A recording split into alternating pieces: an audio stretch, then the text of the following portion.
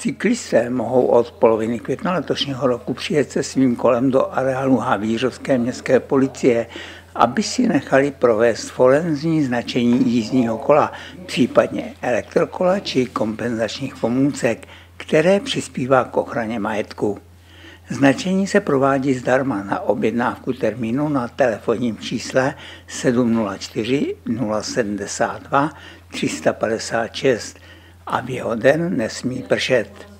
Celý proces trvá asi 30 minut, zatímco jedna strážnice kolo ještě dočistí, předpokladem je jeho základní čistota, kolegyně pořídí fotodokumentaci, vyplní patřičné formuláře a provede registraci do mezinárodní databáze REFIS. Sebou je třeba mít občanský průkaz a doklad o zakoupení, případně na místě vyplnit čestné prohlášení. Forenzní značení, které po úplném zasknutí 24 hodinách není pouhým okem téměř viditelné, se provádí na několika místech. Jedná se o inovativní metodu značení moderní technologií.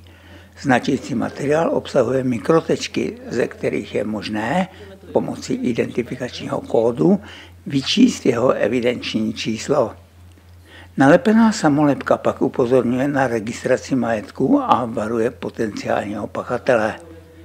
Forensní značení je odolné všem povětrnostním vlivům, chemikálím a je obtížné mechanicky jej odstranit.